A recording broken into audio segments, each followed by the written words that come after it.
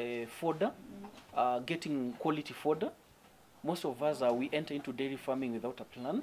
We are supposed to plan from from the other from the other end before thinking about the cows. I encourage uh, each each and every farmer or the prospective farmer to think of what are the cows going to eat. That is that should be step number one. So we should have a plan on how to to establish the fodder fodder establishment plan, and also where to sell the milk before even bringing the cows, because those are the mm, greatest challenges uh, farmers usually face. Yes, you have, uh, let's say you have uh, plenty, or you have a XY number of cows, but you don't know where you're going to sell the milk.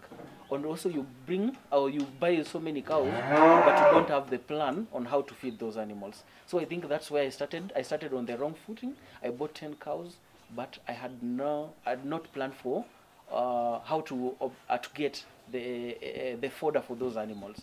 So those are some of the challenges I faced. And another challenge is diseases such as mastitis.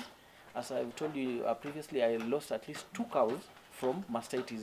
They had chronic mastitis, and uh, the, after consulting the veterinary doctors, the the result was uh, just to to cull the animals. So those are some of the challenges I faced. About the market, the milk market, I can say uh, our proximity towards Nairobi has uh, really been a plus. So I can't complain about the market because at least our cooperative is able to pay the farmers uh, milk at between 40 and 45 shillings. So I cannot say that uh, it's, it's, it has been a challenge.